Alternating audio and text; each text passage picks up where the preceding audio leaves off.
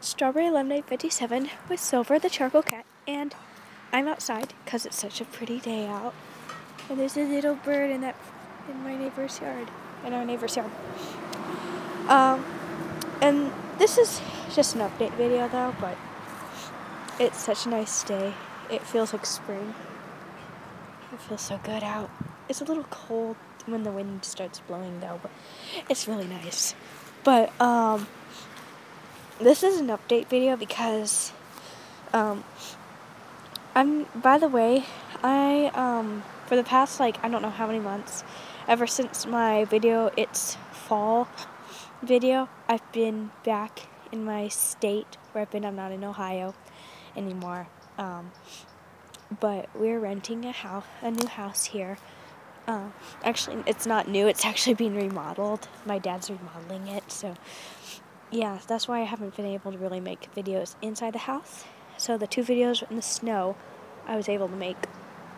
But yeah, but hopefully, um, since it's being remodeled, um, like next week I'll be able to make videos in there. I've also ha- haven't had a lot of time to make videos because um, I've had swim practice. I I'm homeschooled um, sometimes.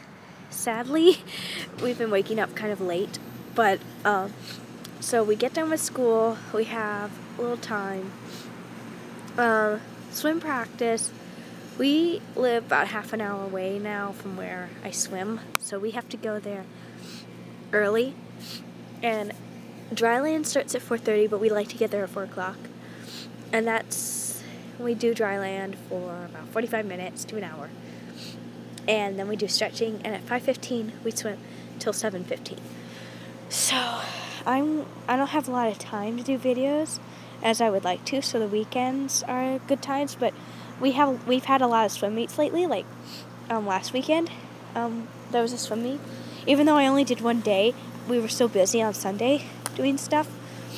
I only went one day. Some swim meets are two or three days, like Friday, Saturday, and Sunday, or just Saturday and Sunday. But my mom, since we didn't want to go every day, we only signed up for one day. And I did the mile. I sort of got talked into it, but it was so long, and my arms hurt. So, and my 200 fly was a fail, almost because I like the 200 fly. I've done it before, but this time my arms just hurt so much that I couldn't do it that well. But and that's eight laps of butterfly, by the way, and the mile is 66 laps.